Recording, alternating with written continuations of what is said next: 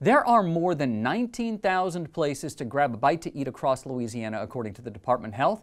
Some of them are on wheels. As TWILA's Tammi Arender found out, there's a new establishment in Ruston that's truly a gate to plate experience. As the sun is rising over Ruston, there's already a buzz of activity in this restaurant on wheels. So it's grown and grazed. Um, we are producing food from things that are grown locally or are grazed locally. So local beef, local produce. Desi Bourgeois was born and raised in South Louisiana in Lafourche Parish. He came to Louisiana Tech to study architecture. During college, he worked in a restaurant. It was love at first bite he changed directions and chose to build a culinary career. After attending culinary school in Vermont, he and his wife decided to bring their passion for food and community back to Ruston. Uh, we choose to buy a local product because number one, we know the quality and consistency of it, we know the freshness of it, um, and we're able to keep our money local. A lot of those local ingredients come from the Ruston Farmers Market.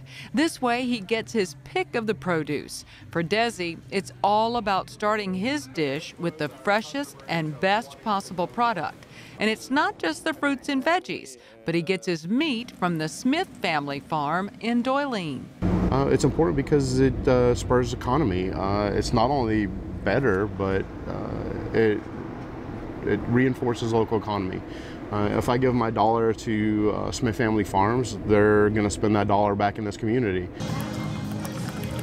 Another layer to this enterprise is the reciprocity for other Ruston businesses. Railway Coffee supplies grown and grazed with their Java, and grown and grazed gives their personal pot pies filled with sweet potatoes, sausage, and a farm raised egg to Railway Coffee. Ashley Jones, a student at Louisiana Tech, says studying never tasted so good. Um, it has a very um, varied textures and flavors, and so it's really good. He and I kind of have the same values and, and beliefs about just building up local partnerships um, and having this idea of community over competition.